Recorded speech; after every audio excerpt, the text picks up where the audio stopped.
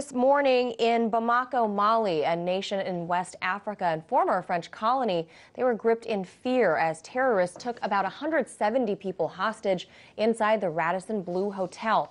Armed with AK-47s, the terror group associated possibly with al-Qaeda were taken down by French security forces alongside American military personnel, but not before at least 20 people died, including the gunmen. So here to tell us a little bit more about the situation is RT correspondent Lindsay France.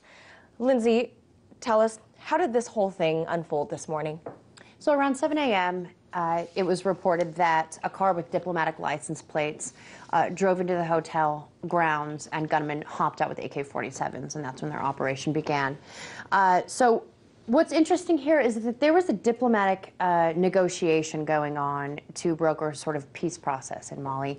There's been a huge Islamist insurgency, extremists uh, staging attacks for the last three years at least, uh, in, in a very concentrated way for the last three years, but it's gone on for a while. And then with uh, government upheaval. So there were a lot of foreign nationals in that hotel uh, and uh, just foreign foreign national workers as well as the diplomats there. So it's surprising that they got in with diplomatic license right. plates. At the same time, it's not. It's the Radisson in Bamako. It's the capital. Uh, so that was that was an interesting thing to note about you know how they breached the security. But then when this all played out, the uh, Malian and U UN security forces headed up by the French, there were also U.S. special forces in the vicinity. They banded together to get the rest of the uh, the hostages out of there. Well, that's that's good news, of course. But yeah. what's the whole backstory with Mali? Um, they're obviously they're not a stranger to having this sort of attack happen.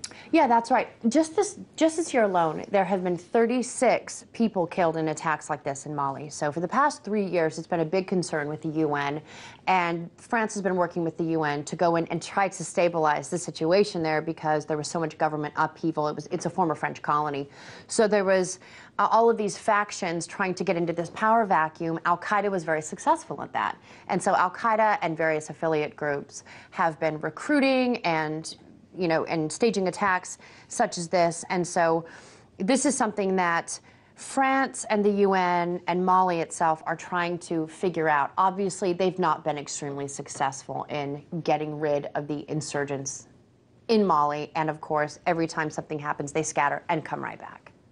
Yeah, that's a lot of power shuffle, as we were exactly, about big time. camera. Um, now, what about going forward? What are some things being proposed? Well, anything? a lot of the analysts that are really weighing in on this situation specifically is to note that in Northern Africa, in Mali, in Mauritania, in all of these neighboring West African nations, uh, there's Al Qaeda, which they refer to sort of as the poisonous tree, and ISIS is like a branch off that tree. Al Qaeda is much more strong than it was pre 9 11. So Right now, there's sort of a competition, if you will, a terrorist Olympics. As odd as that may sound, it's they're in competition. ISIS, you will not one up us.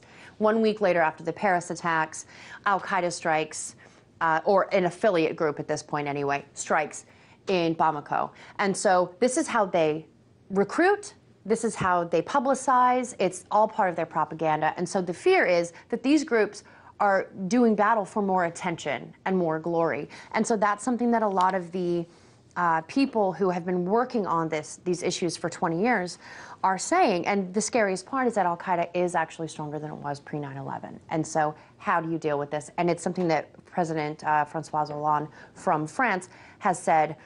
We thought we were going to be pulling out as far as our security forces. We're going in way bigger with uh, French special forces. So they're going to see a real show of strength there. Yeah, and as, as the attacks have proven, and along with this one, um, there's been obviously some uh, deficiency in intelligence, right? As we're absolutely seeing. trying to, they're on watch lists, but then they're just being watched, and then before you know it, something like this happens. So who knows how this is all going to unfold as far as security goes? Any, any word if uh, the Paris attacks and this were connected? They're really trying to gather information on that right now, but right now it's it's two different factions completely and they're trying to sift through all of that information. We're not getting any clear indications of that right now. At, as far as we can tell, right, kind of a weird, disgusting uh, sibling rivalry. Almost. It is. It is very terrifying. It is terrifying. Thank you, thank you so much for that. That was RT correspondent Lindsay France.